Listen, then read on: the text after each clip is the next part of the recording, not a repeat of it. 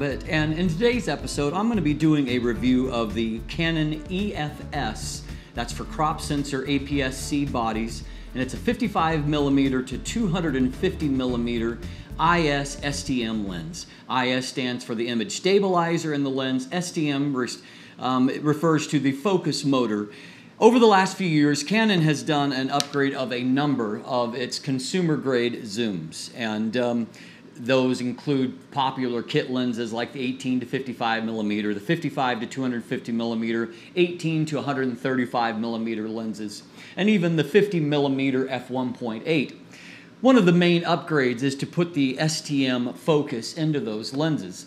STM focus is refers to stepping motor, and it's a different type of, of autofocus motor in which um, it really emphasizes smoothness. Some camera bodies, some of the newest Rebels, and then um, the EOS M3, and then also this Canon 70D, they allow for AF server, servo focus mode during video capture, which means that the, the camera will continually autofocus during video capture.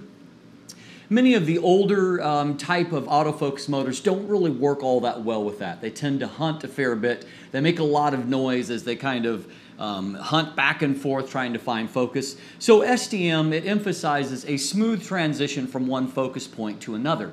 And it works really well when you're capturing in that type, type of format.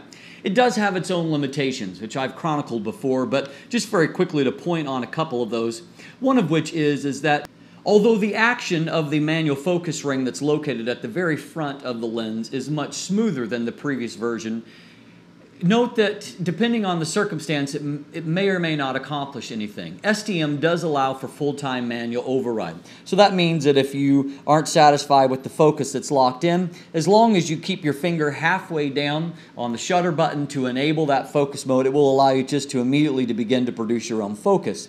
Then, of course, if you switch it into manual focus mode, you can uh, do the same. But if the camera is in standby or sleep mode, or in the case of when you have autofocused, uh, if you're not holding that down, you can turn the manual focus ring and nothing will happen because there's no direct coupling between this ring and the lens elements inside the lens. In fact, it relies on a signal from the manual focus ring to be routed through the autofocus motor, the STM motor, and then it's the STM motor that actually moves those um, elements inside the lens. And so as a result, you should have to be aware that there may be some occasions where you're spinning that front dial and you can, you can spin it indefinitely. There is no stop at um, minimum or infinity focus. And so sometimes you can feel a little disoriented, but just know that either you have to have that halfway down for a focus to uh, achieve, or you need to switch into manual focus. And so um, just a couple of limitations. So there is a little bit of a disconnect feeling I find in the, the tactile sense of manual focus. But manual focus is not a point of emphasis on this type of lens.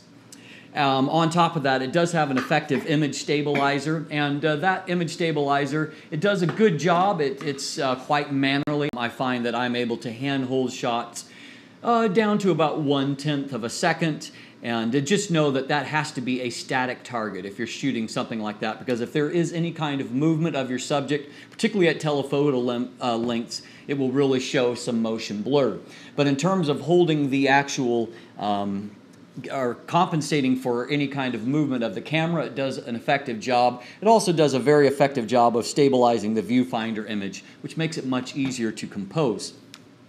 This lens has a pretty incredible uh, focal length. It has basically a focal length equivalent of, in a full frame, of 80 millimeters up to a 400 millimeters, which is a pretty incredible amount of reach. And, and does so obviously in quite a compact body.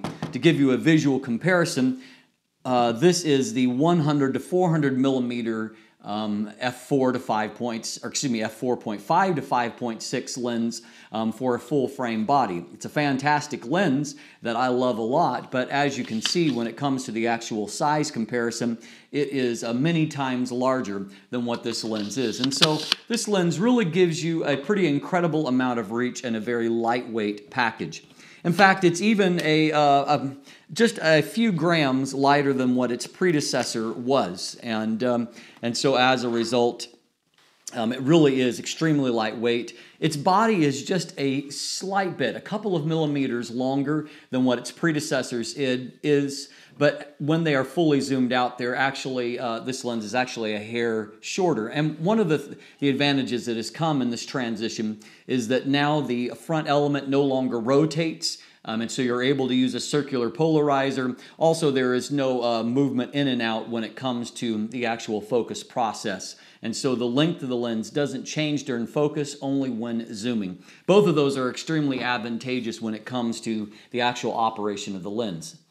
The single biggest upgrade, however, is to, to me, is to the optical performance. The predecessor to this lens was okay optically. Um, if you're ever faced with an option of getting uh, the 55 to 250 compared to the older 70 to 300, the non-IS version, don't ever opt for that 70 to 300 millimeters. Uh, it has a little bit more reach, yes, but it is a it's a very poor lens optically. I found that the 55 to 250, the predecessor of this, which was the IS Mark II, was definitely an upgrade over that lens. But this newest version really trounces the older lens. It really, the image quality is actually quite impressive across the frame, um, even into the corners. Wide open image quality is very good. I no longer feel like I need to stop this lens down to f8 or smaller apertures to really get maximum image quality. And so that's certainly an advantage for a lens like this. Overall, I found the optical performance really to be quite good. Um, it, it doesn't really suffer from chromatic aberrations very strongly. Um, it uh, the distortion is really not pronounced, uh, in my opinion, for this. The one thing that I did find that the lens was guilty of is that if you put the sun right into the frame, it will do some veiling in which it loses some contrast and has that kind of washed out look that will come across it. But the, the kinds of situations where that occurs are actually fairly rare with a telephoto lens um, because by the time you are actually zoomed out to the telephoto end, end your angle of view is actually quite narrow, and so it's, it's not really difficult to keep the sun directly outside of the frame. Canon has persisted in not including a lens hood with its consumer grade lenses, which to me is an oversight. But I'll throw a couple of links down below, both to the official Canon hood, which is $24.99, I believe, but there's also, B&H has a nice hood from Vello that is about half that price. And I think it's a worthy investment, both for the protection value and also since the lens is somewhat prone to um, veiling, but not ghosting. And ghosting is when you get kind of blobs of orange or green, you know, kind of spots that come when the sun's in the frame. It, it, does fairly well with that, but it does do that veiling. And so the use of the lens hood is probably a good idea um, if you do actually use them. The overall build of the lens is, is okay. Um, there's nothing bad about it. Um, the overall design is nice and clean. It's it's not a whole lot different than before, but the STM lenses do have their own kind of distinct design. Um, it does persist in having a plastic lens mount as opposed to a metal lens mount. And with a lens that is this light, it's probably not a big deal. It's only a little over 300 grams, and so it's not a particularly heavy lens. Um, I should say it's 375 grams, but it's still very light, and so it's not putting a lot of stress on that mount. And so they've always had plastic mounts, and I've not heard of a lot of them breaking. I'm sure this one won't either. It's just my personal preference is to see that higher grade of the metal mount. Beyond that, uh, a couple of other things I want to highlight. This does have a very different new optical formula as compared to its predecessor. The uh, the older lens, the IS Mark II, had 12 elements in 10 groups. This is a more complex 15 elements in 12 groups, and it certainly shows up in the improved image quality. One kind of thing that did stand out to me that was interesting is that while this lens does allow you to uh, focus down more closely, 2.79 feet or 85 centimeters, um, compared to the predecessor was 3.6 feet or 1.1 meters. And so you can focus down more closely with this lens. However, the maximum magnification is a little bit less.